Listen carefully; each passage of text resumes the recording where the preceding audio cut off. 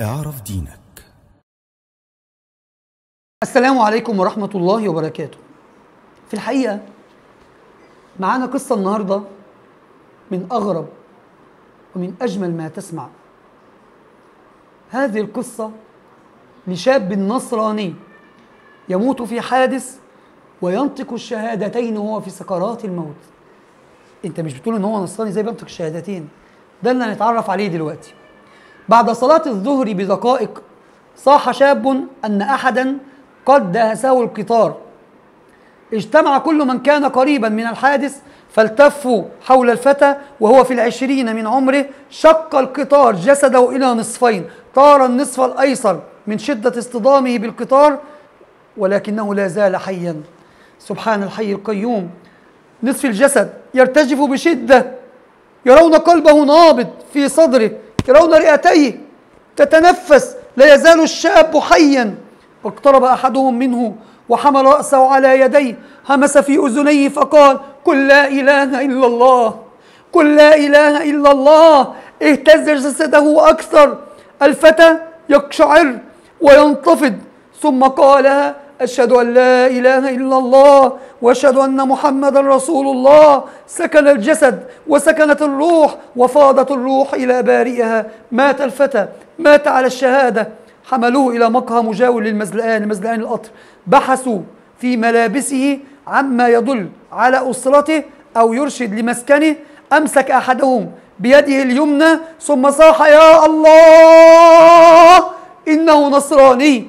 في يده الصليب. حمله الجميع وذهبوا به في حيرة من أمرهم. أن نتركه وقد مات على التوحيد؟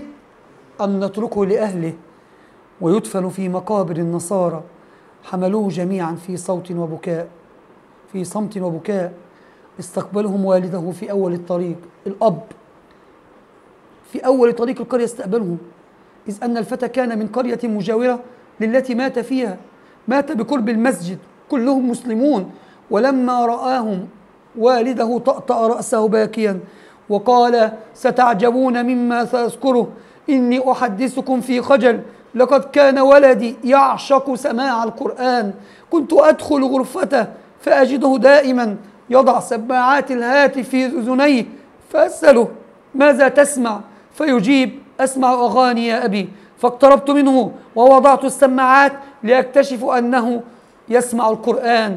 كنت أنهاه وأجره. وأعنفه. قلت له لو لم تنته سأقتلك. قال لن تستطيع يا أبي لن تستطيع قتلي ولن تستطيع منعي وأبعادي عن القرآن. نظر الحضور لبعضهم في فرحة خالته أو خالطها البكاء.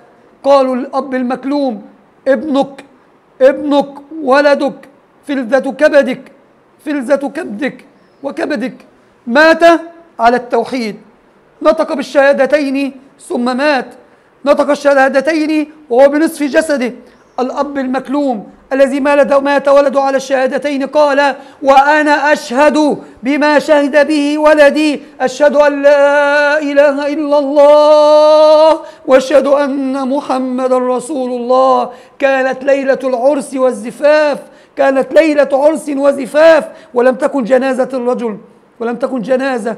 الرجال يهللون. موحدين لله عز وجل بل ودفن الفتى في مقابر المسلمين.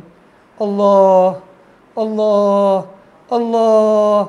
فما أجمل أن يموت أحدنا على الإسلام.